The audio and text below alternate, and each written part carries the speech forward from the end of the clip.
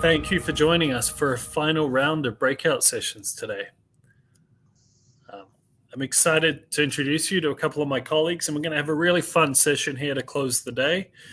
Uh, we're calling Ask the SolidWorks Experts. And today we'll be answering your questions about SolidWorks and about design as best we can.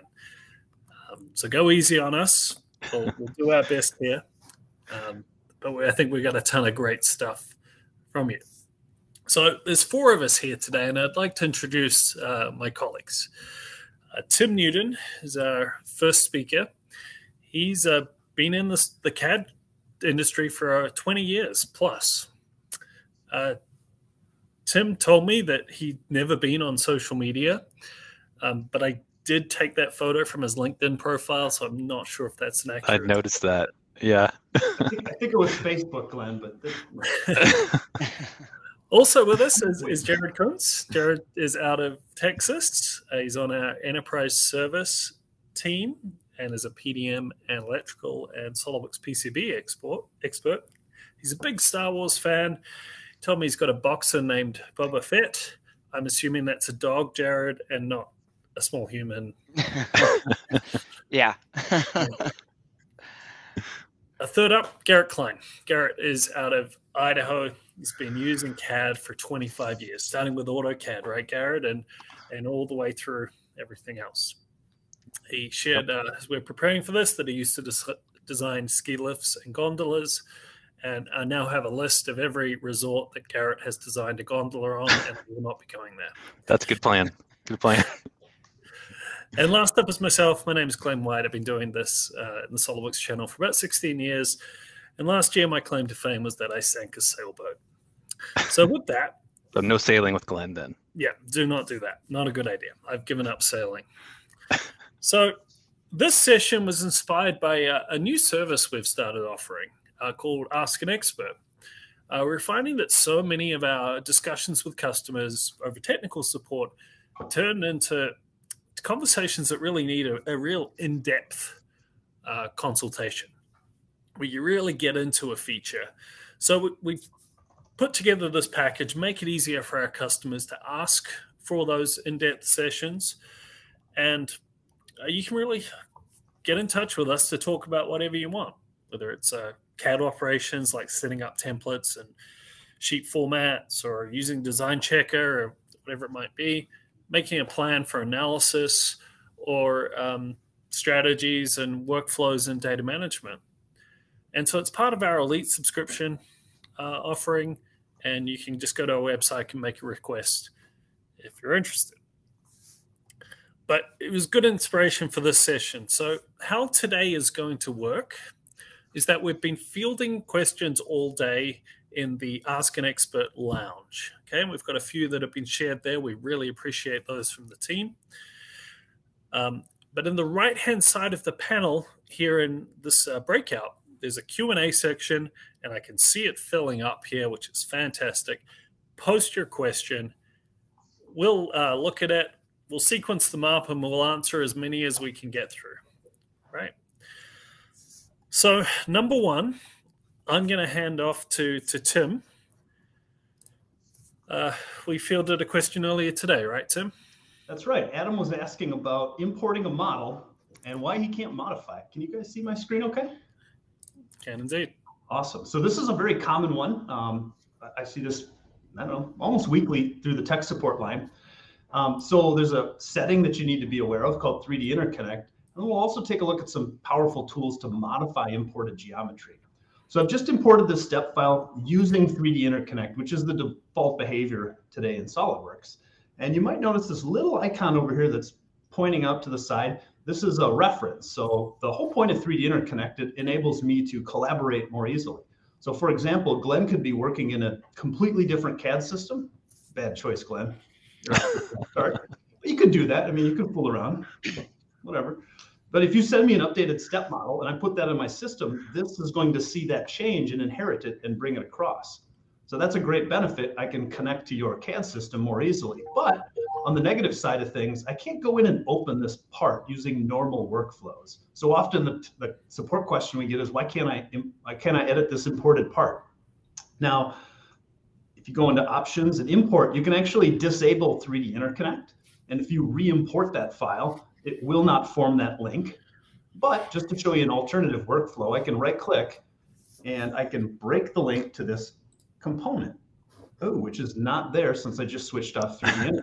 That's a nuance that I didn't expect seeing, but when you do live sessions, things like that happen. So let's break links back. There we go, break link. So breaking the link, it's no longer connected, and I can now open up that component model itself and make changes. So this brings me to the next topic. This is actually a file I got prior to this session from uh, individual I've worked with for a long time. And he had a moldability issue that he detected in here. If we use like undercut detection, we can actually go in and hide some of these things and reveal this undercut. So we're going to split this according to that plane there. And that undercut's going to mean we're going to need you know, a lifter or a slider to relieve that in order to mold it. Now, that's kind of a fragment of, um, I don't know, I don't want to call sloppy modeling habits because please don't go with some of my models. So you might think, well, maybe I could just patch that in real easy with like an extrusion, but unfortunately, the nature of this, uh, it doesn't lend itself to a quick and easy patch. So let's just undo our way out of there. There we go. And the next thought that comes through my mind is old surfacing workflows where we offset, we extend, we trim it all together. That takes a lot of steps. So I want to introduce you a very powerful tool that you can find under the direct editing called Delete Face. And it does all of that surfacing rigmarole in one click. So when I got on the line and showed Paul this, his jaw dropped. He was just like, wow, I cannot believe it was possible to fix the file that fast. So let's just fix it. And then let's spend a moment longer just explaining what it does. So this fillet here, oftentimes on a molded part, you might need to remove a fillet to apply draft and then reapply the fillet so that it's moldable. So the delete face is going to go in and remove that face I've chosen and then extend these, which are planar faces, until they trim together and it will trim it up just like that. So delete face is a great way to remove extraneous geometry and I'm using this option delete and patch, which is what I'd normally recommend. Um, try that option first. If that fails, then you can just remove the face from the solid. It becomes a surface and use conventional surfacing tools to repair that. Lastly, move face is a really powerful command that you can use offset. So I can make this important feature a little bit bigger. Hitting enter will bring that same command back up. I can grab that face and I could drag it this way and extend that all out a little bit. Or lastly, move face can also be used to rotate stuff. So I've used this successfully to place draft on the model, for example, by putting a couple of degrees of draft in here. And there you can see the preview. So just to recap, we looked at 3D interconnect and that by default was forming a connection to that imported model. You can break the link or switch that off to import it in the old uh, conventional techniques. And then we looked at move face and delete face to make changes to imported geometry. What what you guys think there? Was that was that all right? That was great, man. I think uh, one of the things that sometimes catches people with the whole 3D interconnect functionality is that it's not for drawings, right? Mm. It's specifically for models when we're bringing in you know stuff from other systems, but it also it does get triggered if you're dealing with like um, neutral file formats as well, right? So yep. So just know there's two distinct kind of translators available, and you can toggle them on and off. Hey, look, John likes that move face. That delete face has been. It's one of my favorites to show yeah. for sure. Yeah. Here, you're up next, and you've got one. Yeah. So, so I got an interesting question from a customer a while back, um, and basically, the question goes: If um, I have a bunch of sheet metal parts, um, and I want to specifically find out which sheet metal part um, is using our correct bend tables, right? Um, for you guys who who maybe aren't familiar with bend tables, uh, you know, they're really important to allow, like, based off of the machine type that you have and stuff, the amount of stretch that's going to be in that sheet metal part when it's flattened out, right? So if you're using the incorrect bend table, you could be making bad parts, right? So um, what they really wanted to do was f- go through all of their parts and find the right you know, the ones that were using the right one and specifically actually more importantly the ones that were using the wrong bend table and the trick behind this is that um, the bend table information is actually part of the features inside of the, the tree so if you come in here and you look at the sheet metal feature we can see that uh, you know my bend table is is actually part of those features, and it can be part of some of the other features as well. So um, there is a solution that you could look at potentially here. That's kind of an out of the box solution by using um, the design checker. We'll talk maybe about the design checker a little bit later. There's another question, but um, the problem with using the design checker here is that you get a report about like every single file. You get a separate report, right? Whether it was good or not. Um, so the design checker is good for a lot of things, but not specifically for this. So um, the method that I ended up using was um, using the SOLIDWORKS API to do this. So I created a macro um, and I actually referenced one of the standard macros here. Let me go and open it up. I always put a little note at the top here about where I got that macro from and what I've been changing and stuff. But um, here I'm specifying what bend table I'm specifically looking for, that location that's going to be inside of the feature. And um, you know, I'm going to actually log, um, log all the bad parts out. So I actually end up using PDM to implement this and every file that gets approved, this runs on and it gets logged if it's a bad part. Um, but what you really have to do here is you have to go through and you have to traverse the tree, which is kind of a tricky thing to do. Um, and basically, one of the ways that you do it is you go through and there's some select options, some statements and stuff that we can use. Um, and specifically looking at, you know, when we're talking about sheet metal stuff, um, different features that could potentially have that um, that type or that uh, specific information in it, whether it has a bend table in it or not. So I have it broken up. Uh, the, the default template has these statements in it. And it looks complicated, but these are all just different types of sheet metal features, right? And some of them could have a bend table and some of them don't. And so, you know, if it's possible for it to have a bend table, all I do is I check that to see if um, it's using the right one. If it's not, then I, I log it out and we're good to go. And they do this uh, using a case statement. So um, if we were to run through, I actually added another thing to this specific uh, macro where I'm debug printing what feature it's on. So if we run through this really quick, you can see it starts out at the comments. So let's see if we just go um, to the next one here. We're at favorites.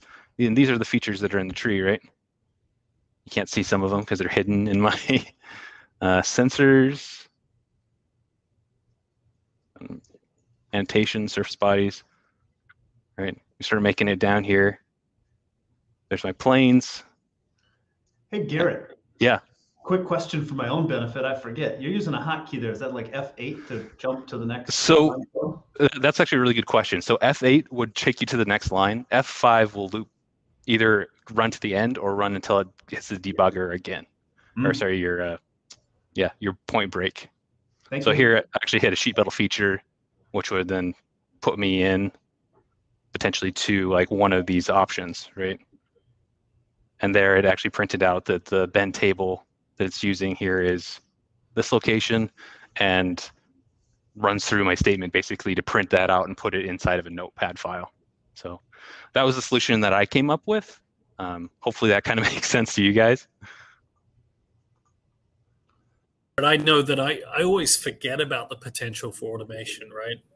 you think about how much work it would take to do that manually and just being able to establish that routine that can traverse the tree and tell you if something's in there mm-hmm. it, it, saves you hours but I, I always complex either as people might think. You mentioned at the beginning really there's lots of examples that you can build on and i find sometimes it's just manipulate a few variables copy and paste a block of code manipulate a few variables and i've got something really close. Yeah.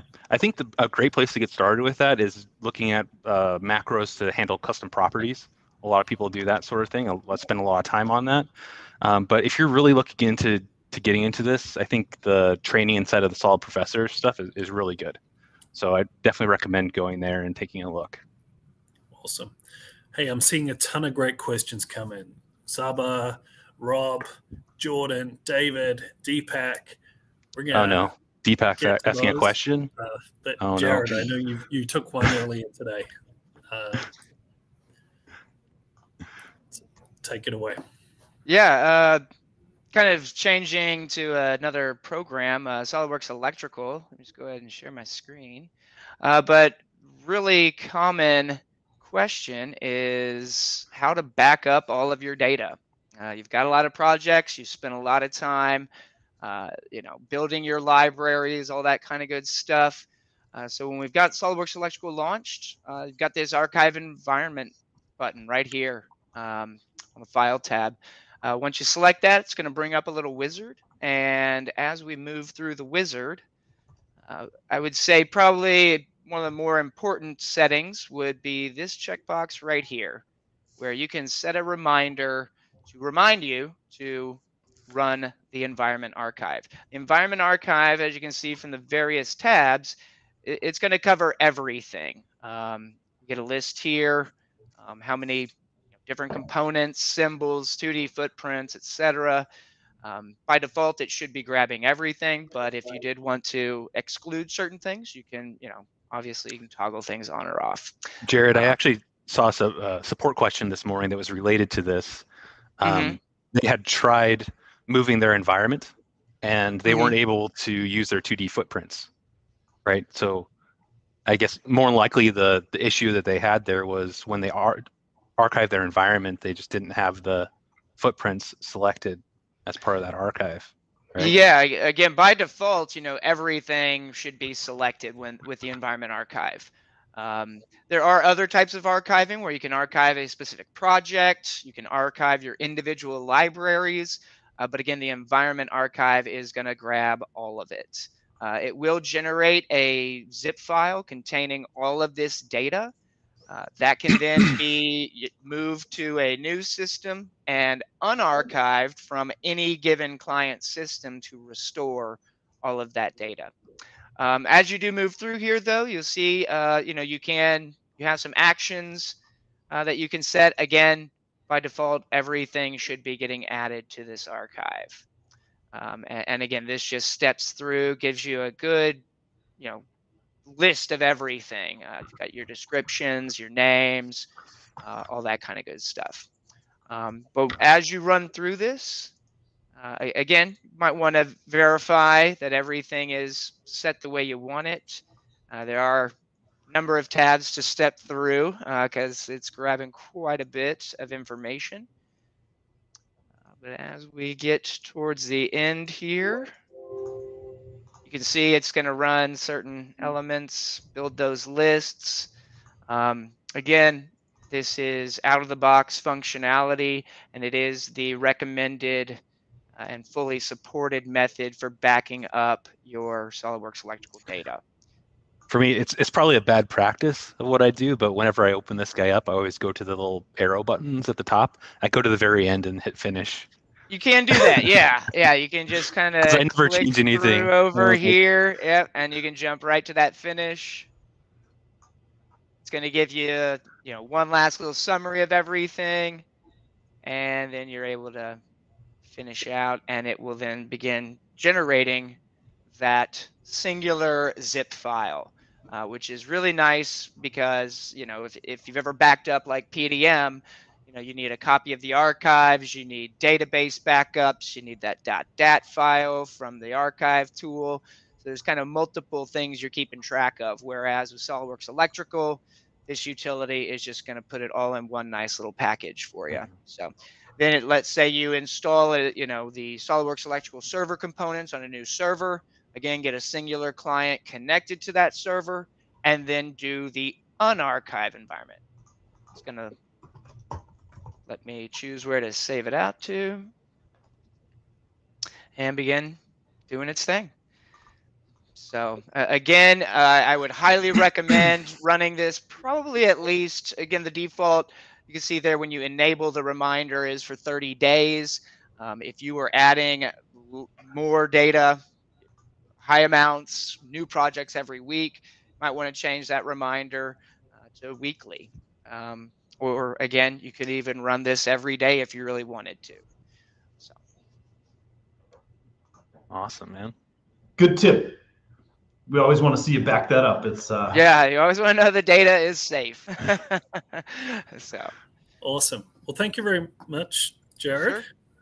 Let's let's come over to me if we can.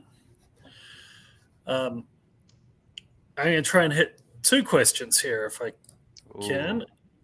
And I'm working on a third. So, first up, Saba, you asked a great question about um, simulating and graphing insertion forces when two parts are kind of clipped together.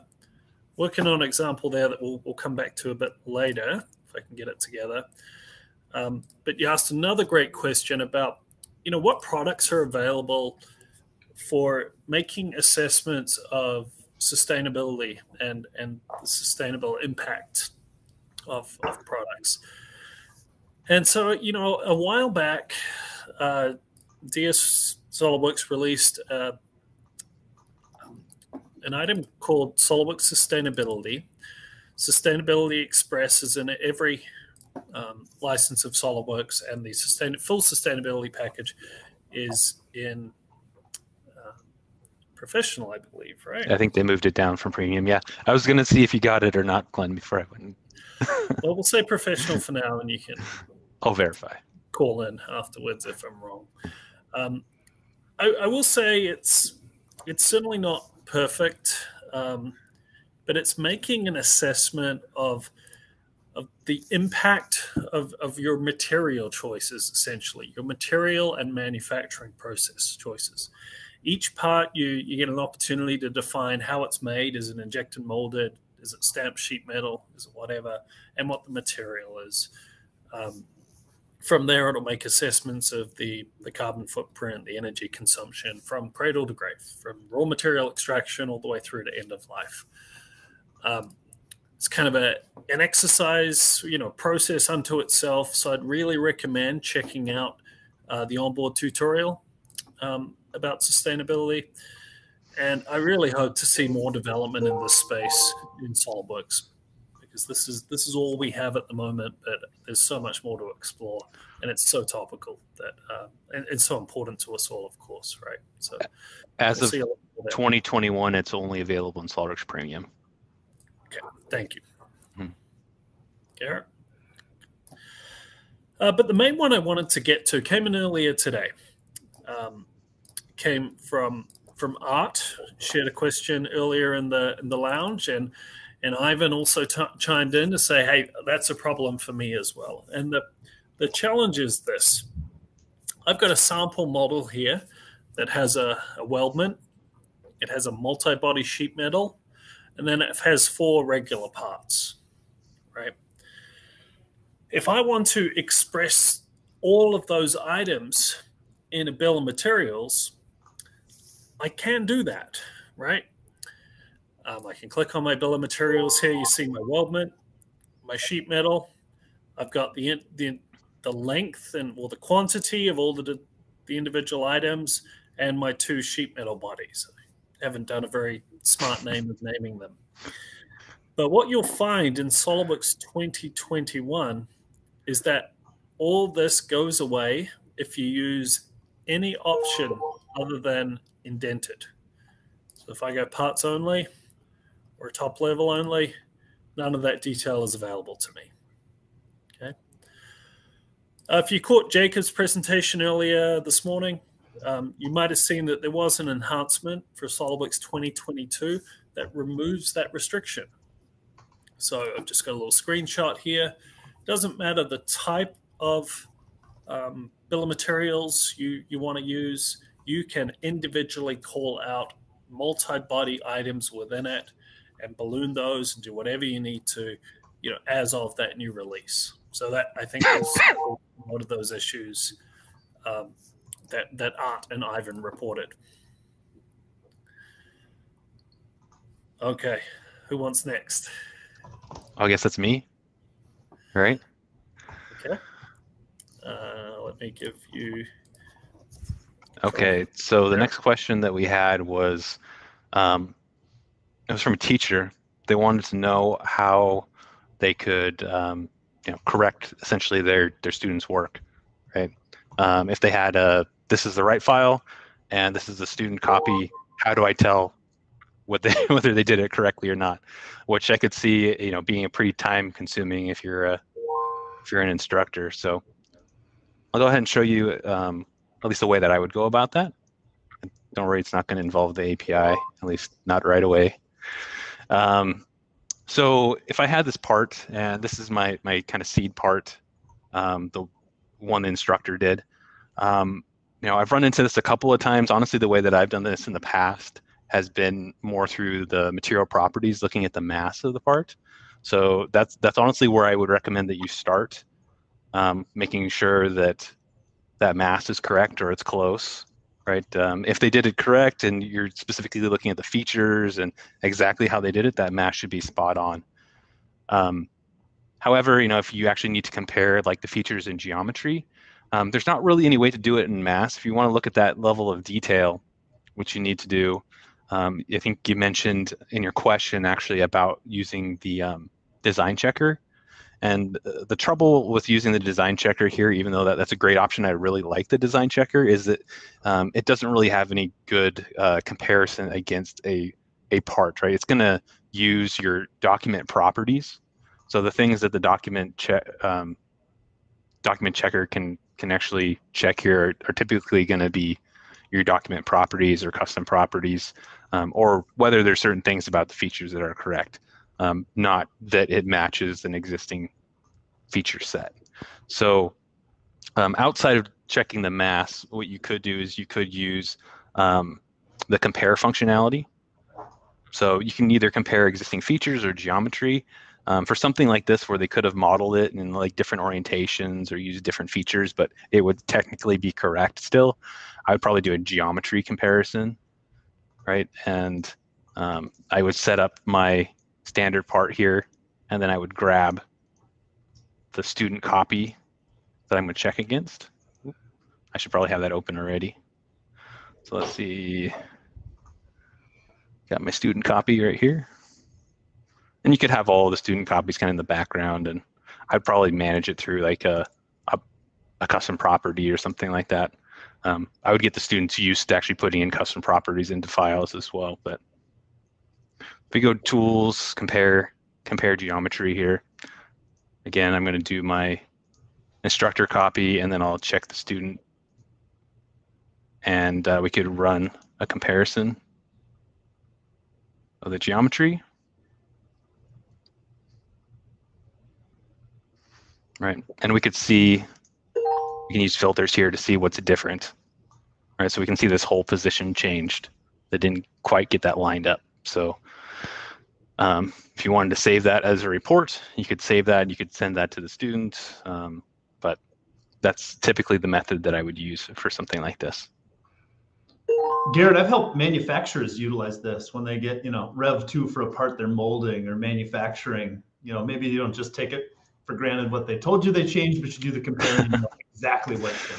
Yeah, yeah, and you know, going back to the design checker functionality, I think that something that people often forget is that that can actually be implemented into PDM as well. So if you are checking against standards and stuff like that, that's one of I think my favorite tools to implement uh, because it can really change like I don't know. I hate checking people's files. Honestly, I, I don't like that sort of work. So checking to see whether their dimensions are overlapping or some of that stuff is just the machine can do it really easily. So um, I really like the design checker for that. Cool. So let's see. I think next uh, we had a question. I think about PDM, right, Jared?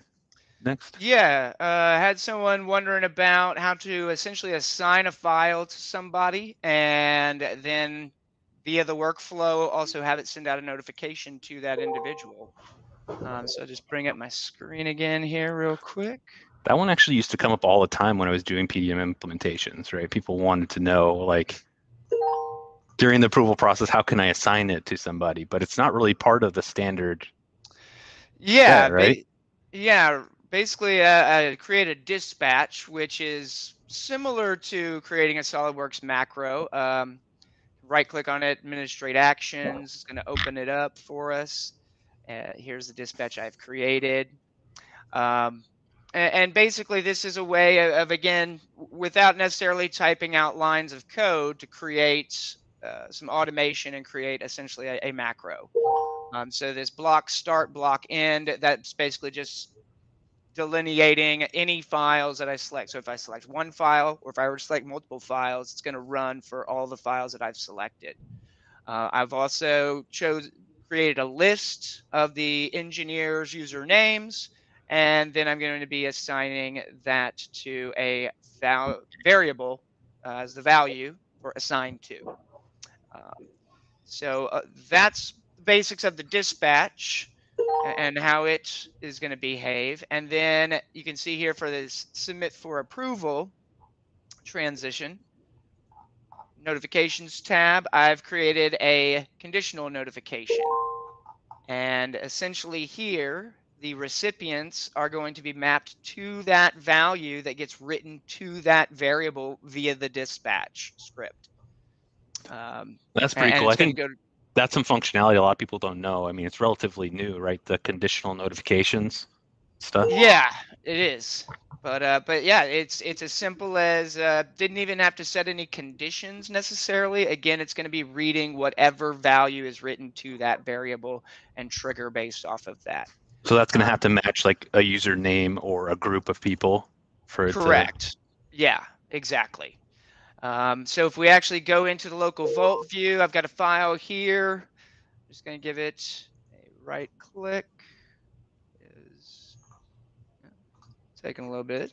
Let's see. There we go. And with a single action of changing the state, I'm going to submit it for approval. You can see right now it's under editing. I'm going to submit it for that approval, but I want to be able to assign it to someone and then have them be notified. So submit for the approval. It's going to build the, the list of files that need to change state here. Should just be this one. Again, the way the dispatch uh, was written is, is, it will grab multiple files if I were to select multiple files, kind of thing. so, you know, here you can add your comments, you know, submit for approval, and, you know, the notification. This will be the comment in the actual notification as well. You know, please approve. And so then I'm going to execute that state change, and that is going to then trigger this drop down where I get to select a given user. It's like you dropping it on somebody's desk right here right? Yeah, correct. And and again, this is based on that uh, dispatch script. So I'm going to choose an engineer, say OK. And as this processes, we should see this assigned to here on the data card. Might need to refresh my Explore view. Let's see. There we go. So now it's actually written to the data card as well, so that that's visible quickly and easily.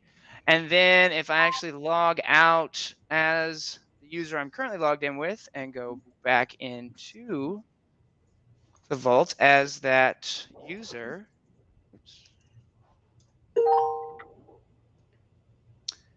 once you get logged in, uh, you know, your notifications, you should get a pop-up basically in your Windows notification tray as well as a, a, a chime. Um, but just to show you real quick, sometimes it, it might take a little while to go through.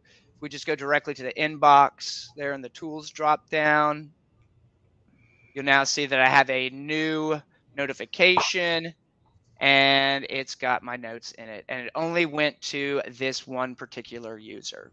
So other users aren't being bombarded with notifications. It's only going to who actually it's been assigned to and who needs to look at it.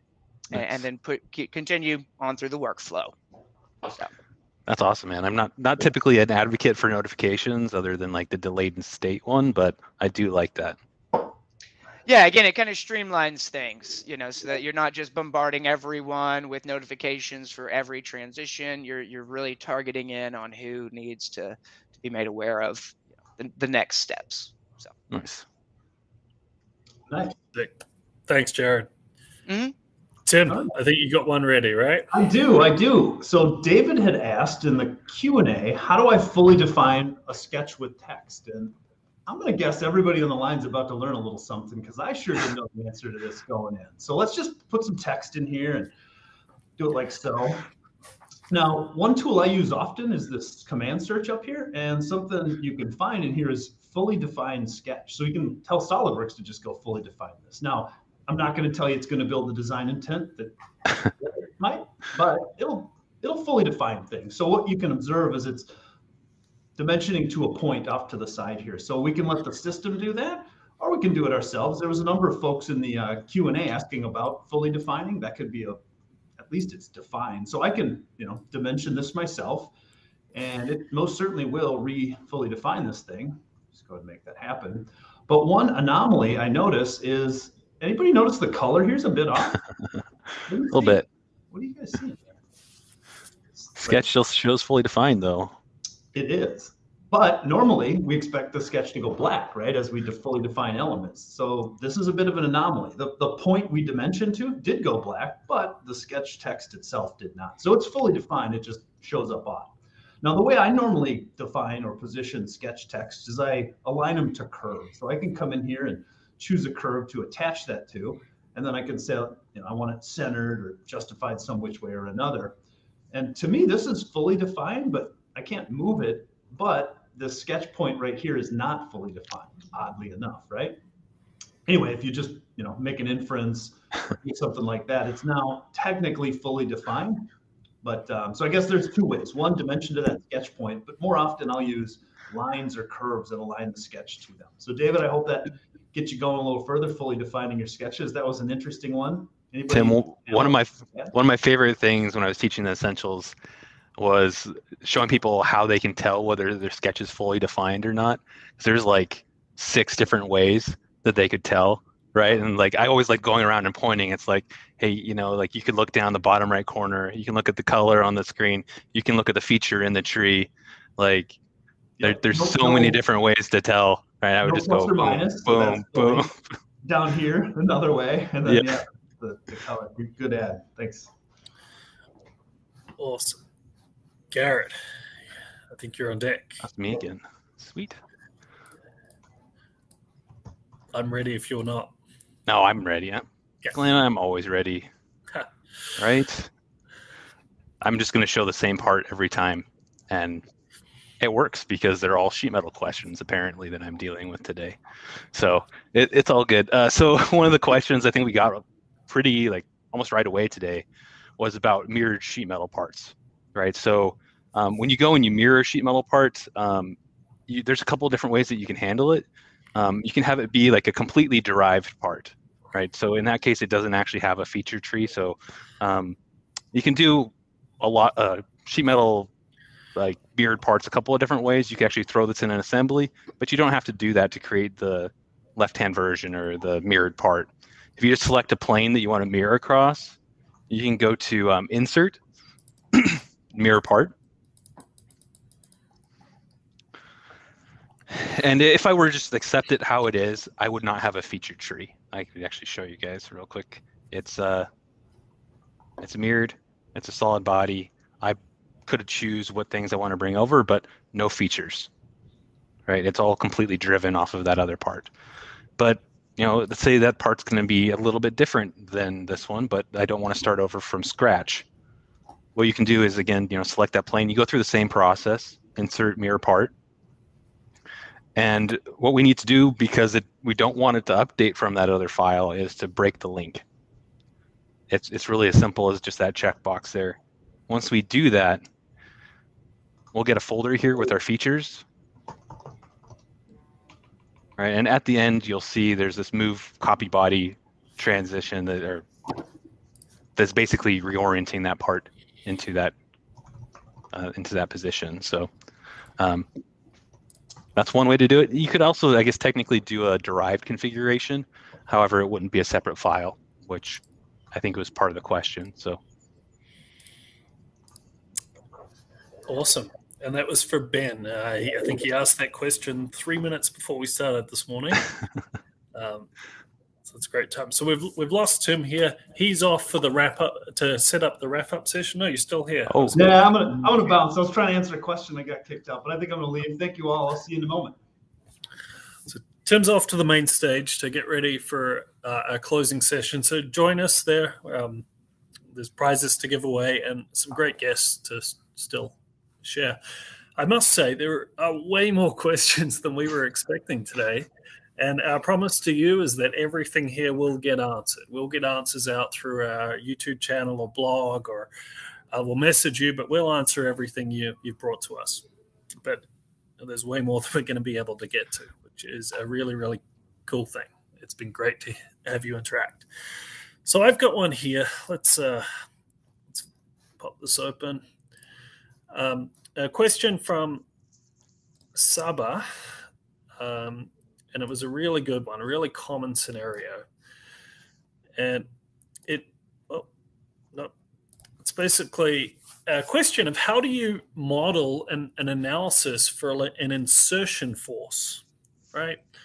Of, of two objects sort of coming together um, like a clip on a, a backpack buckle or, or whatever it might be.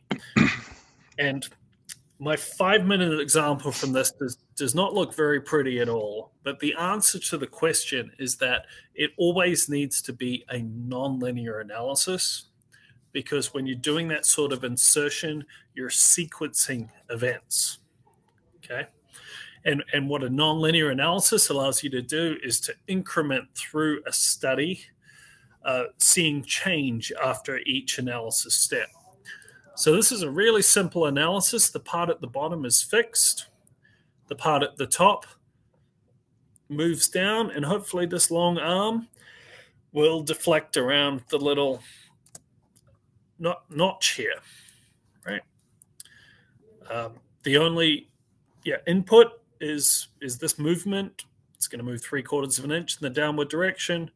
Um, it runs really quickly. I can do it live. After dismissing a couple of messages, it's basically it's going to sequence down until it collides, and then it will start to splay out. I like that you used uh, a 2D simplification here and, and symmetry, right? That that makes it run a lot faster. well, I kind of cheated, and it's just really thin. Oh, okay. But you could have done 2D simplification, right? Have, absolutely. Yep. Um, now, and but the question was, what's the force, right? And so I've got to extract that. Um, I do that by creating, by asking for the result force, monitoring where we push, and I can print out a nice chart of what that insertion kind of profile looks like. This one's in newtons.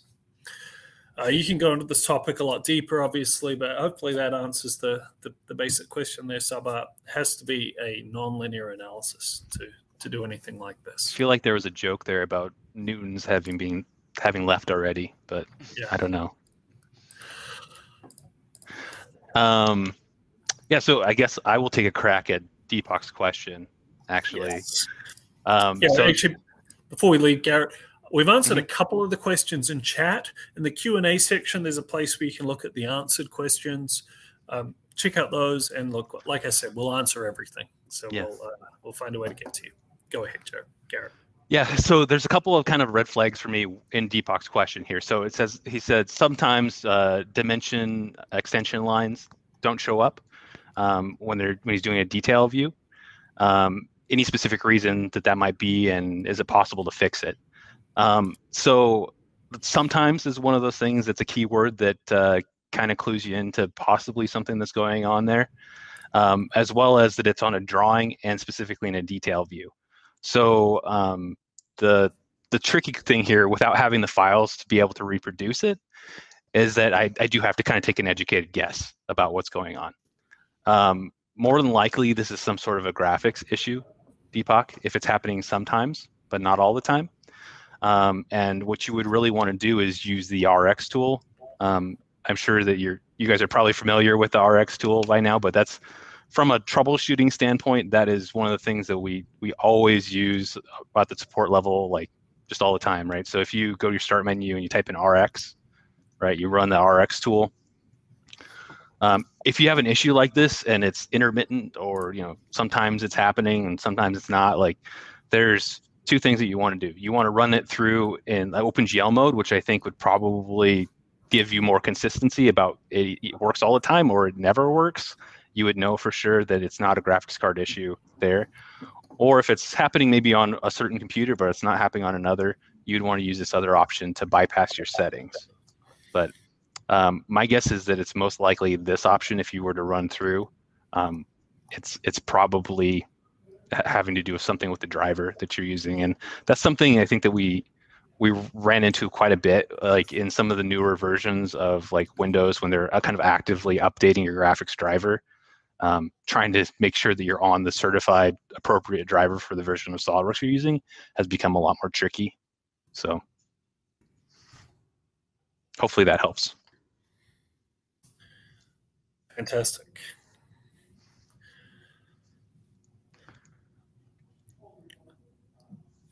Jared, you got anything, or I've got another one queued up. I've just been clarifying a couple questions some people had in the Q and A. So um, Great. yeah, Hey, Jared, uh, Garrett, you want to? Oh, I'm just showing my screen. So sorry. I'll pick up one more. All right, there was a question from from Mark earlier today in the lounge, and uh, quite a simple one, but it might have some hidden depth. So his question was, you know, I'm missing the evaluate tab in my toolbar, and it's obviously something you use a lot. It's got mass properties, it's got measure, it's got interference detection. I am in here all the time, and so I can see how it's annoying if it's not there.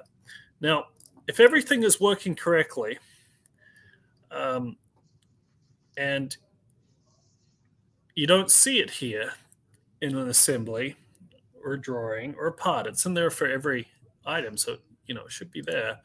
You should be able to right-click the t- Command Manager tab, go to Tabs, and hopefully should live in the list uh, with the check mark not next to it. Right, and it should be as simple as that to get the, that back. Now, if that doesn't work, if that's not there, you know, it, it comes back to some of the things that you can do for any SolidWorks settings. And there's really two things I go to all the time. One is I will periodically take a copy of my SolidWorks settings using the copy settings wizard and just kind of keep that on file. And then if so, if anything strange happens or you set some obscure option that you can never find again, you've got that kind of backup, which will just reprogram you back to where you are. Can also be good to go across the office and tap a colleague on the shoulder and say, "Hey, I need to copy your SolidWorks settings. I've I've messed something up with mine," and that'll reset things like the toolbar layouts, um, options, everything. The other way to do this, kind of brute force, is in the solid in the registry. Um, I'll get off the serial number screen. Uh, so the the Windows registry, you got to know what you're doing if you're in here, but um, it's not so bad. HKey current user, SolidWorks software, SolidWorks.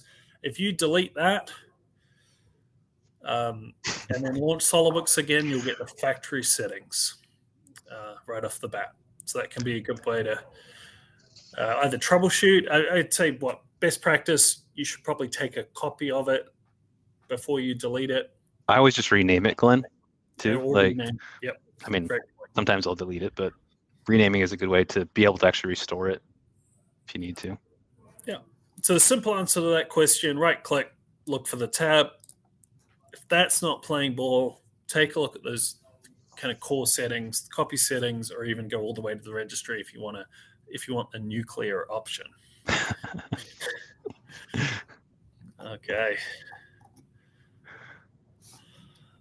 Um, how we doing? We got we got probably five minutes to go before we should send you back to the um, the main stage. I could take a crack at this 3D printing question if you want. Oh, okay. I was going to answer that too, but you'll do a better job. So here we Oh, go. will I? Okay. I don't know. We'll see. You'll have to let me know after I'm done how, how it goes. So I do a lot of 3D printing, honestly. Like um, I did, did a lot for my job and do a lot at home for my kids. And um, so the, the tricky thing in your question, so it sounds like um, it's basically about designing and your 3D printer has essentially a tolerance of like one millimeter while you're printing, right? Um, I think that that is essentially the key of, of what you're dealing with there. And honestly, like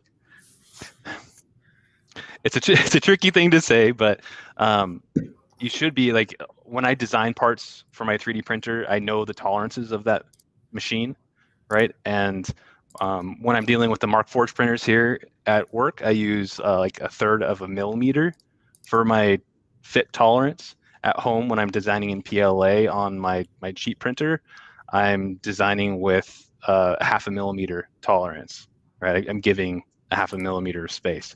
So it it really depends on um, the the settings of your printer. I, I would say like something that I need to do better about on my printer at home is go through and do like e-step calibration so that my printer is actually more accurate. Um, doing things like printing out like little test cubes and stuff like that and verifying dimensions with your calipers and then going back and adjusting your e-steps appropriately will really help you to, to get a lot tighter tolerances for your printing. So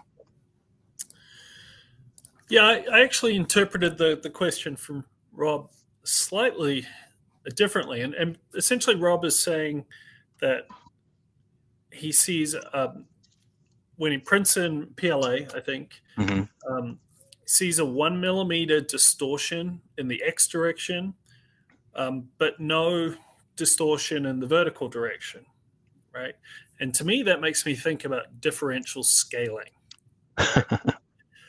Um, and so there might be a combination of techniques between what Garrett's talking yeah. about. And if I you can't fix your printer, you should use Glenn's technique here. Yeah.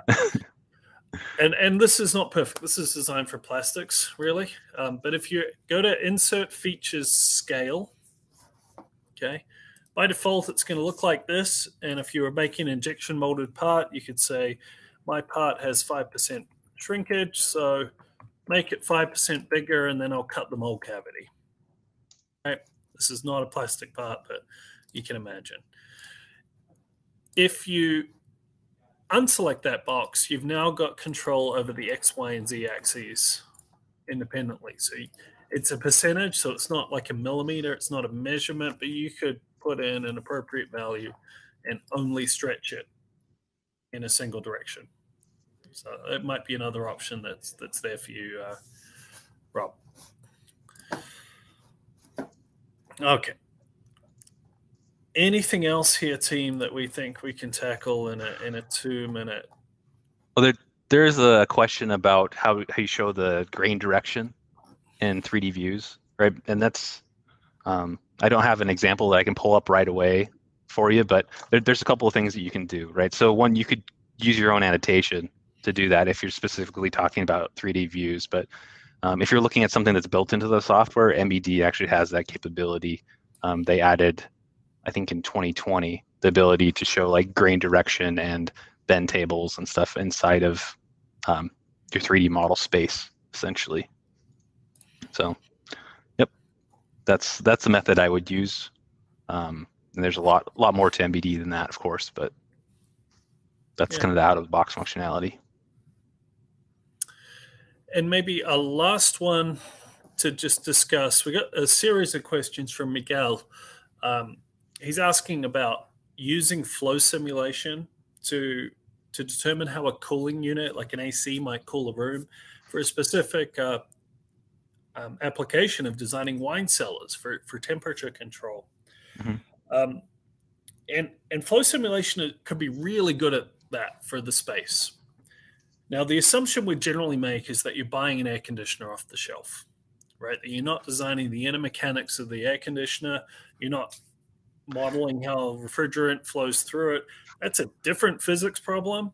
But if you're just, you know, buying an air conditioner or a heat pump or some other heating or cooling system, putting it in a room and wanting to know how the air needs to circulate to maintain a temperature, that becomes a lot simpler problem, right? When yeah, you we established that air conditioner is basically a, a, heat sink, a heat well, the opposite of a heat source, right? It'll remove energy from the system. Um, it'll blow air in a certain way, and we can set that up and see the impact. Um, there's a whole module of the flow simulation software designed for HVAC analysis. And so there's some cool parameters to individual comfort and, and to map the space and um, some cool stuff we can do there. So that's certainly an application that, that the software can handle and a really interesting one for to be brought up here. So thanks for that. There was a question too about uh, creating flat bills of materials and stuff. And uh, I would just point you to maybe like assembly costing. There's not another like really great way to do that inside of SolidWorks. So um, you could do a lot of bill of materials management and stuff, but uh, it's either that or if you're looking at kind of an enterprise level, then you need to start looking at like SolidWorks Manage that has that ability to roll up those bills of materials for you. Awesome. Well, unfortunately, we will need to to to pull the cord there. Um, thank you so much for the input uh, and the questions. We will, like I said, make sure everything gets answered. Uh, so keep an eye on our channels, YouTube, our blog, um, maybe even social media. We'll have to figure out how to get these out, but we'll make sure every question gets addressed. And uh, we really appreciate your interaction today. We apologize if we didn't get to your question, um, but uh, it's great to have so many people here.